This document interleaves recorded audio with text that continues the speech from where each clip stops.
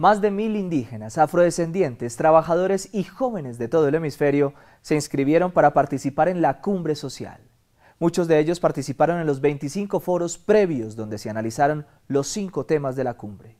Sus propuestas serán escuchadas por los mandatarios.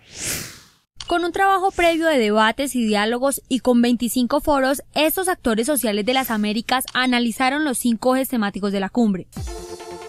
Pobreza, seguridad, integración física, riesgos y desastres naturales, y nuevas tecnologías. En los foros previos a la cumbre se identificaron problemáticas, se propusieron iniciativas y se construyeron aportes para la declaración final y el diálogo con los mandatarios. Por ejemplo, tomamos el tema de pobreza, que fue uno de los que más fue pedido con el de seguridad y vimos el tema desde ángulos muy distintos. Y con esos documentos de los expertos tratamos de generar la reflexión.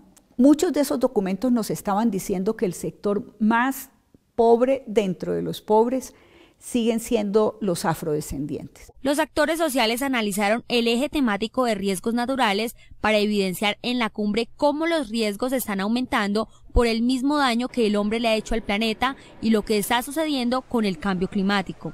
Y en eso, por ejemplo, la iniciativa ciudadana y social y educativa para preparar comunidades que están en riesgo, para ayudarlas a salir de una emergencia, pues eh, tiene mayor capacidad de acción un Estado si se apoya en todas esas iniciativas ciudadanas. Los líderes indígenas llegarán a Cartagena a exponer sus iniciativas y a resaltar su identidad.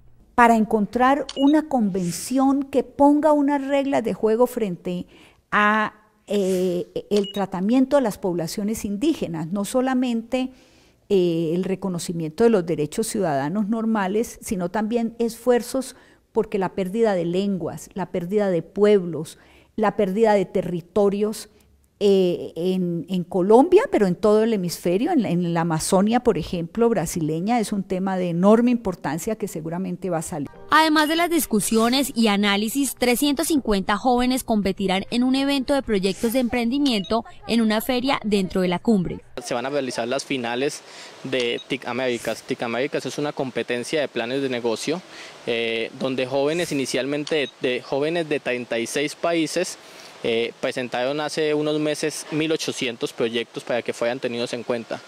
Luego de un proceso estricto de selección, de esos 1.800 proyectos fueron elegidos 36 proyectos económicos y sociales que van a ser mostrados, 36 proyectos de jóvenes de 13 países. Todos esos proyectos, iniciativas, documentos y propuestas quedarán en la biblioteca virtual de la sexta cumbre para que colegios, universidades y organizaciones sociales aprovechen y se alimenten de esas experiencias.